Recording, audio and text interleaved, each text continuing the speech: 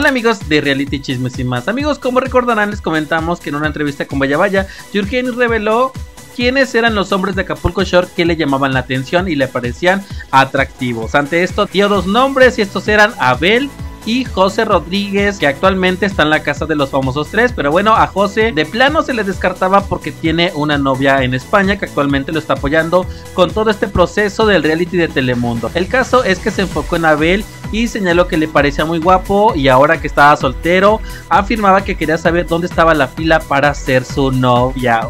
Esto obviamente llegó a oídos de Abel y al ver que todo el mundo le preguntaba por Jurgenis, señalaba que le halagaba el comentario que hizo la venezolana y que bueno, al final dejó a entrever que no le era indiferente y señalaba que aún no tenía el gusto de conocerla. Sabiendo amigos que no estaba con Eli Varela, pensábamos que la cosa podía quedar ahí, pero resulta que Eli Varela se pronunció a través de redes sociales sobre esto y señaló que Abel la seguía cajeteando todavía más con lo cual se dejaba a entrever que existía la posibilidad de que regresaran, pero Abel con todo lo que estaba diciendo se estaba cayendo ese evento. Pero bueno amigos, ahora de nueva cuenta Eli opina sobre esto, le preguntaron ahora a través de Instagram eh, qué pensaba sobre este tema de Yurgeni, ya que le dijeron que se quería comer al Abelón. Ella afirma que no está perdida, que Abel es un chico guapo, pero le tocaba estar en la fila con otras muchas más.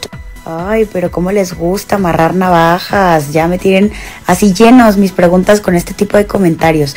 Pues, ¿qué voy a opinar? Pues nada, no la culpo. O sea, véanlo, si está sabrosísimo está. Y pues, ¿qué digo? Una más a la fila.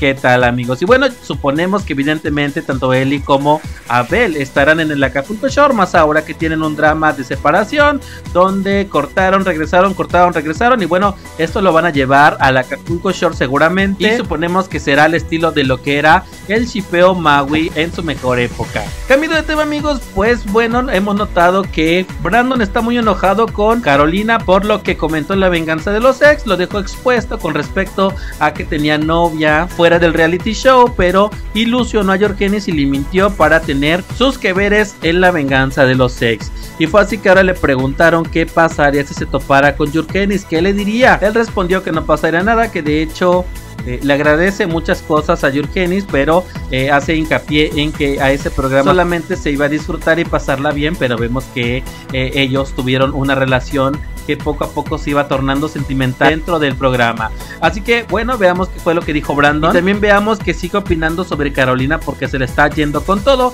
y hay quien afirma que se está viendo muy machista y misógino. Nada, yo no tengo nada en contra de ella, al contrario, ella sabe muy bien que yo estoy bien agradecido del reality, o sea, no más. ¿Qué tal amigos? Y bueno amigos, suscríbanse para más noticias, cualquier otra novedad estaremos al pendiente.